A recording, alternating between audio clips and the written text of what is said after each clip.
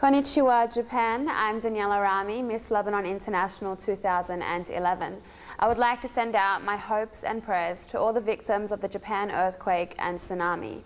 I know you are all overwhelmed by this devastation, but I urge you all to stay strong and not lose hope that goodness will come your way soon.